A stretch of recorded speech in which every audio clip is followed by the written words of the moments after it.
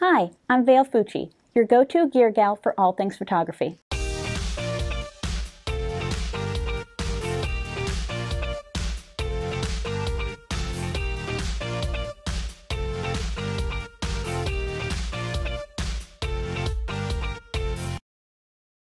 Today, we're going to be unboxing a brand new Adorama Glow EZ Lock Quick Strip Softbox.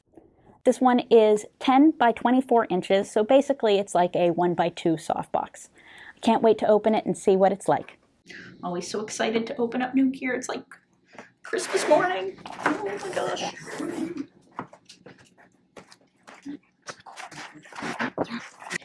There it is. Nicely packaged out here. Up. Nice little storage bag. And it makes it easy for me to find. It even actually says exactly what the uh, product size is there. And two different types of zipper ways I can open this. I can either choose to open it from the top, like this, or I can choose to open it like this.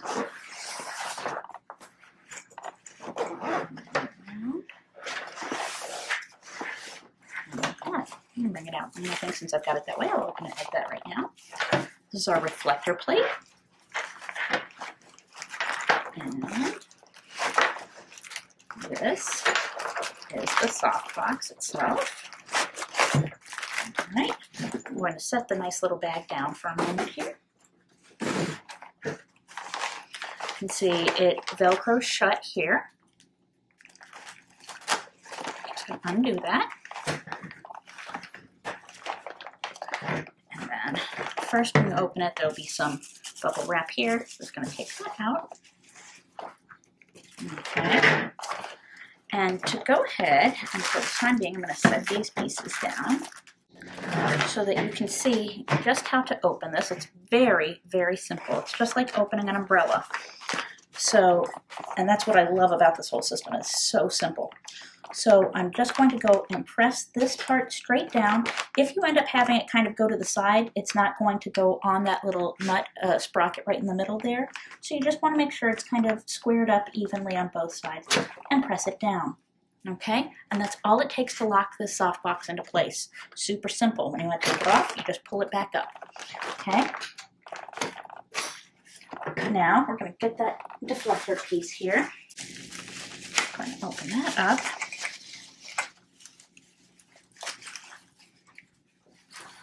There. And in it, you're going to have the deflector plate and a little nut here. I'm going to do another video that will talk about which way you do it, what the effects of that are. But for right now, I'm just going to place it in the inverted way like this right now. So I just place the nut through. Right in there is the threaded hole.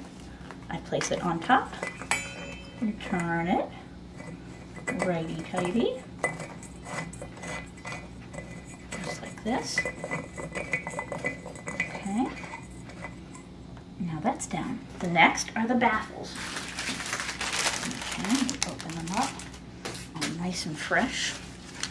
You have the inner baffle, which goes and attaches with little snaps like this, and the outer baffle, or diffusion panel, that attaches with Velcro. So I like to have the softness of the double diffusion, so I'm going to go ahead and put both in right now. Bring you in the inner one. So what you can see is it just has some little snaps right here. Let me just go ahead, put that on there. One, two, three, and four. And the great thing is once I've got this attached, I find I often like to close these up, even with those at least a couple of them attached so that it just stays on and I don't ever worry about losing my diffusion panels. Then I just go to the corner for the outer one, place that in there. And you want to make sure you're doing it towards the lower portion of the Velcro, not at the outer. And I'll explain why, because we this also comes with a grid that you can put on it, but the grid also goes in on the Velcro, so you need to make sure you leave enough space of the Velcro to have space to put that grid in. Okay, so I go around, bring this to my corners.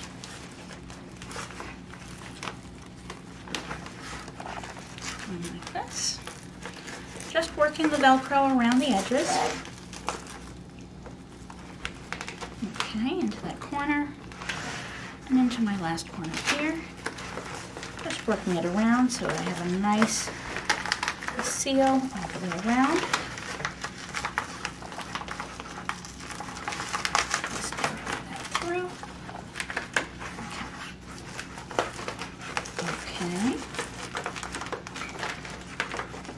And if you want to kind of disconnect and reconnect, it's very simple. You can see with a little hook and loop Velcro there. And there we go, voila. It is now on. All right. With that, I'm going to now show you how to attach the grid. So, here's our grid. It folds up nicely like this, and believe it or not, it will actually fold back up like that again.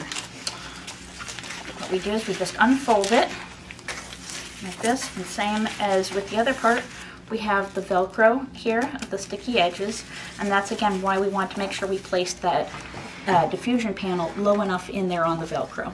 So I just go ahead, stick this in,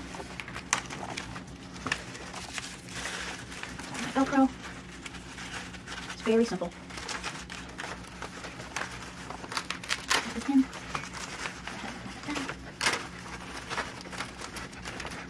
And there we go.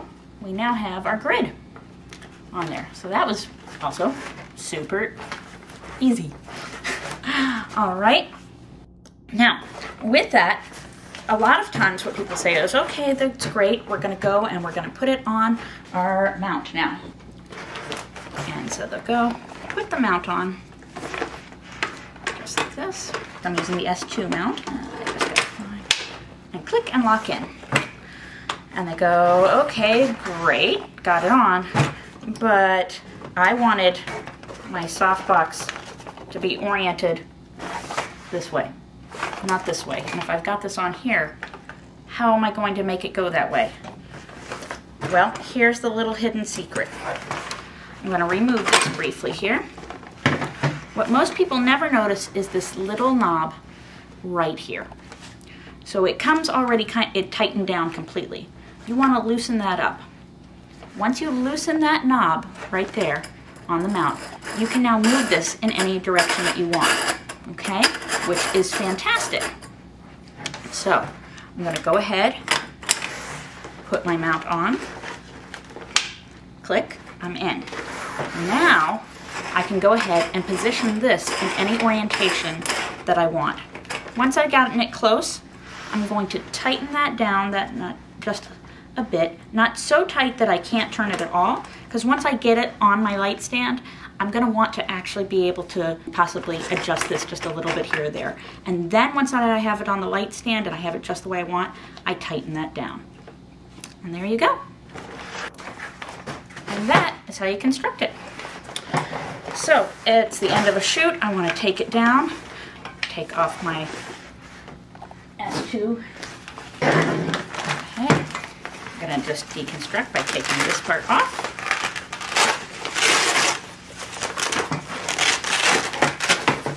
It nicely folds down, back, just like this, as promised. I told you, it actually goes back. Who would have thought? It happens really easily. And then, if you try to close it, you'll go, okay, well, there's a, a diffusion panel in front, but I can't just close it. You have to open this up. And then I open the other one. I open just to the sides. Then, and I pull this back further so you can actually see. I'm going to go ahead and open up that reflector plate. So that's there. Now I can go ahead and open that. I've got my deflector plate out and I take the nut and I replace the nut right back on the shaft there so that it doesn't get lost. And just put it in loosely. I just tuck this back in, close it up, like an umbrella, go around, just like this. I have it closed. Get the handy dandy little carrying case it has. Place it right back in here. Or like we said before, it has that alternate zipper way that you can do it if you wanted to. I think I'll do that right now just to show for the grid. And I put the little plate right here.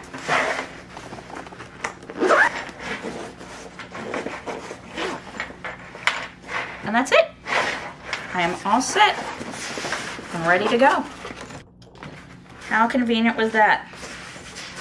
I hope you liked this video and I hope you found it useful.